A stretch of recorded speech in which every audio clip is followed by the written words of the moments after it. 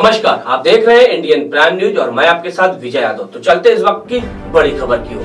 कानपुर में महिला को नौकरी दिलाने का झांसा देकर बंधक बनाकर दुष्कर्म के मामले में रिपोर्ट नहीं दर्ज होने से खाकी से हताश हुई पीड़िता आरोप है कि जूही पुलिस घटना के एक माह से अधिक समय बीत जाने के बाद भी उसकी रिपोर्ट नहीं दर्ज कर रही है।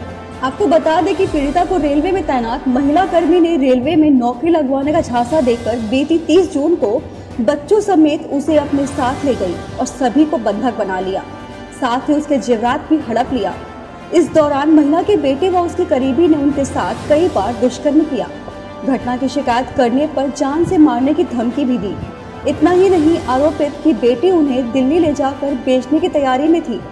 इस बीच आरोपित उनके दिव्यांग बेटे से स्टेशन पर भीख मंगवाते थे और भीख में मिले पैसे भी छीन लेते थे, जिसका विरोध करने पर आरोपित उनकी बेटी से अश्लील हरकत करते थे और अंधा करके भीख मंगवाने की धमकी देते थे। पीड़िता का कहना है कि बच्चों के कारण वह आरोपितों की प्रताड़ना सहती रही। परिवार को खोजते हुए पति आरोपित के घर पहुँचा तो आरोपितों ने पति से भी मारपीट की। शिकायत मिलने पर पुलिस ने पूरे परिवार को आरोपितों को चंगुल से छुड़ाया। डीसीपी साउथ रवीना त्यागी ने बताया कि मामले की जाँच कर उचित कानूनी कार्रवाई की जाएगी। Bureau report, IPN. कह रही थी, तुमको ले चलो हमको ले चलेंगे नौकरी में और तुमको वहाँ रखेंगे आराम से। अब उसके बहाने से भी हमको कह रही थी, दिल्ली तुमको ले जाएँगे। तुमको दिल्ली ले जाने से बाद पूछा हमसे, चीज़ें क्या हैं तुम्हारी? हमने कहा, चीज़ें मेरे घर में एक में रखी है। कह रही, जाके ले आओ। और तुमको चीज़ें ला के रख के तो तुमको हम दिल्ली ले चलेंगे। दिल्ली ले जाने के बाद फिर तुमको वहीं शादी करा देंगे, कोई लड़का देख देंगे। लड़का देखने के बाद हमने खाना कमाना और अपने आदमी को छोड़ देना। वह बलात्कार से किया। एक जयराम जी है एक नन्नू है। कौन महिला थी जो आपको लेके गई थी? वो है गीता है और रोशनी है।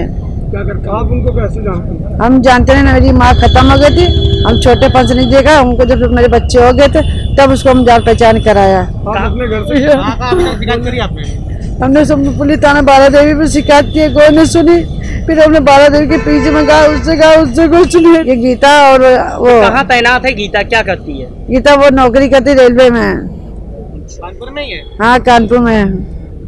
दुष्कर्म का आरोप किस पे आप लगा रही हैं? क्या नाम है उनका? उसका नाम है नन्नू और जयराम जी। जानती उनको हाँ। कैसे जानती उनको उनके रिश्तेदार आए थे तो हमको जान पहचान कराया था। उसके साथ उसके साथ हमारे साथ दारू पिला के हमारे साथ काम कराया गया। रहते कहाँ पे लोग? वो रहते नहीं